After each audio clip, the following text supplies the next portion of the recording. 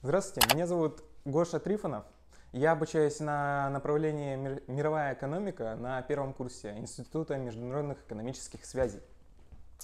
Меня этот институт привлекает тем, что здесь помимо классных преподавателей, которые практиканты и умеют преподать а, какой-то сложный материал своими словами, абсолютно на каких-то жизненных примерах, привлекают тем, что здесь есть крутые ребята, с которыми ты можешь пообщаться и провести время вне университета и вне учебных занятий.